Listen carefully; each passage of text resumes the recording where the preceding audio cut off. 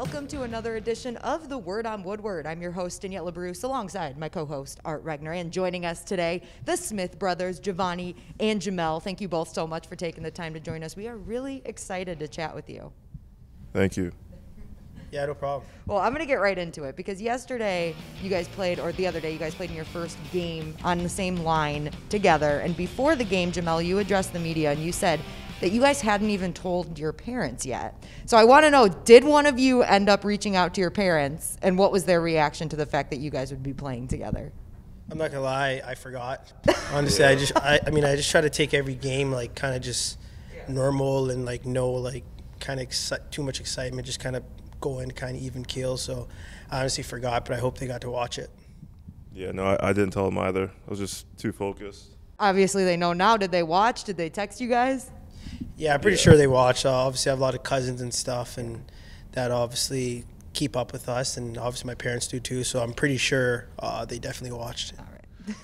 I'm kind of curious as you're growing up, or you know, we hear about you know brotherly love or sibling rivalry. What, how would you describe your relationship, or has it changed over the years from maybe sibling rivalry to brotherly love, or I mean, what, what what's it kind of like?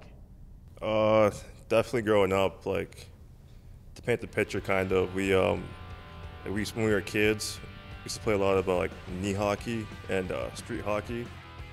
So we're always like, we'd always team up against each other to try to like to win like the cup and trophy. So we've always been like competitive, and then as we started getting older and older, and we started to get closer. But mostly, um, I say competitive kind.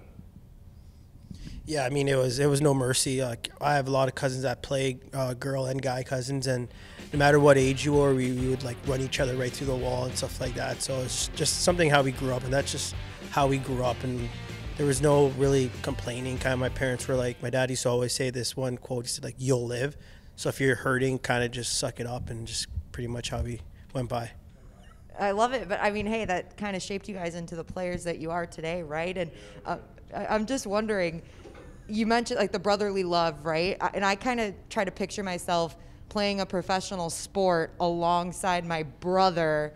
I'd probably be really hard on him, and he would be really hard on me. So being on the same line, what was that dynamic like? I was Uh, obviously it was definitely, it was definitely like I mean, we've already had arguments like Yeah. before the game even started, so that was a good thing. Um, and we played our first game. Just like it's good because I can I can speak my truth, and he can speak his truth to me, and it just makes us uh, better. we got to get used to each other's gameplay, obviously. But I mean, yeah, like we give each other constructive criticism, and I think we both take it pretty well because we know we're uh, being honest with each other. And I think uh, as it goes along, we'll get more comfortable and comfortable, and I think it will work out. I, I know that over the summers that you practice together and you'll work out together, but because you're brothers, I guess there's this assumption that when you get on the ice together and you're on the same line, that you have almost that ability to know what the other one is thinking or where he's going to be. Does that really happen? Yeah, no, for sure it does. I just like I know like the way I play and the way he plays. Like grew up watching him like a lot, so I know like what he is normally gonna do with the puck, and I just go from there. Gemel, I know that from talking to Givani over the years, you developed your own kind of workout program each summer that you do. I am kind of curious. You're older than him. Did you think, wow, this kid's serious or he's a nut? Or did you join in on this work workout regimen because it's pretty extreme, right, Givani? I mean, it's it, there's a, you take no prisoners in this thing. Yeah, it's, it's actually funny you guys asked that because, I mean, everyone always asked me about my brother. Like even when I was in Tampa, like what kind of guy is, and I first thing I said like he's a hardo, like he, which means like, which is a good thing, which means he like he really really loves the game, and I feel like sometimes he's he's a little like extreme with things. He needs to just remember to have fun. But like that just goes with being a younger player. You really you really want it that bad. But no, I'm I'm just I just I'm just a normal go to the gym, workout. I like I do I like to do a lot of track, so I do run by myself on the track just because I like running stuff rather than riding bikes. So I wouldn't say I'm as extreme. I just kind of follow the normal routine. You're, you are pretty extreme, right, Givani? I mean, you've Yeah, took- most most definitely. Uh, growing up, I never had like I never had the skill set as like my brother or like people that we play against growing up. And I've always told to like work hard, work hard. So I use that motivation and use my physical attributes to, to get me to where I want to be. And you guys have both described that before the game where you're playing together, you're focused on the game, right? And that's a great thing. But has there been a moment for either of you where you're like, wow, that was really cool? Like, I just got to play in an NHL game alongside my brother? Um, honestly, I don't, I don't see it like that as much. I just kind of like more see it like I've been working my whole life to play in this level, and so is he. And obviously, it's it is pretty cool to play on a team and like same team. And like once I got here, and just like I just kind of just. It's just been normal, kind of like I don't really get that more excited than I would for a normal game. It's kind of like it's more like I, I kind of expected to be here because that's what I'm training my life, and I expect him to be here. So it's just kind of just a normal thing for me. I feel. Yeah, I think uh, to touch on what you said, I'm more um, focused on like living in the present, and then, you know, as it goes by day by day, game by game, you know, we're gonna start to see things. and It's gonna be like, oh wow, like, like you were beside me when we did that, or like vice versa. My question is, is when you were little fellas and you had a cough, did you prefer Smith Brothers cough drops? Oh, my goodness. Oh, what is that? Yeah, No, see, you that's guys- like an old that- man joke. That must be that must be an American. Maybe it's an American cough drop. There was there were Smith Brothers cough drops. I loved them. I mean, they were great. But you know, because you know, when you're a kid, you eat cough drops like they're candy. You don't really. Yeah, no, we just have Buckley's. Yeah, Really? our family's Yeah. all, uh, we're Canadian Jamaicans. thing though. We're like we come from a Jamaican background, so we're just the simple kind of like water and Tylenol or water and Buckley's, or we're a big like tea family, honey, honey and ginger, and like that's it. No, If I can find them, don't be surprised. Your locker stalls, if you guys each have a box of Smith Brothers cough drops, and they're from me. I'm telling you that right now. All right. perfect. Did I'll frame guys it. Did you guys play Super Smash Brothers? as Yes. kids? Okay, so we have been referring to as the Super Smith Brothers. So that that one's pretty cool. I know, I know you'd be able to relate to that one a little better than whatever cough drops he's talking about. So You've never had Smith Brothers? Yeah, The crew? Any, anybody ever have Smith Brothers cough drops? Jeez. I don't Yeah. think they exist. I think you might have made that Yeah, up. I think so too. Maybe you're inventing it right now. Yeah, I guess. Uh, hey, you guys want to want to go into business together? I think I got this idea for a cough drop. Yeah, let's do it. Let's do it down. Man. All right. Well, I do want to touch on a more serious question for the two of you. February is Black History Month, and the NHL and the Red Wings are always celebrating inclusion in the game of hockey and trying to make sure that everybody feels like they can play this game.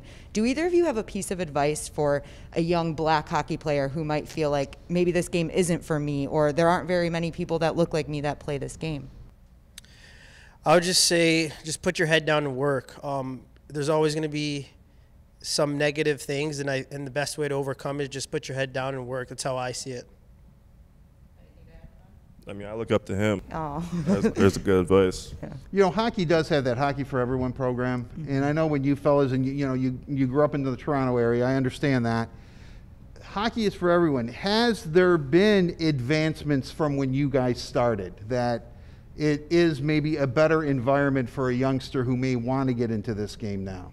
Oh yeah, definitely for sure. I'm starting to see a lot more uh, uh, colored players playing. Um, in the summer, there's a, a, a skills camp where there's a lot of players just like me, and everyone goes out and they've been running it for uh, a lot of years now.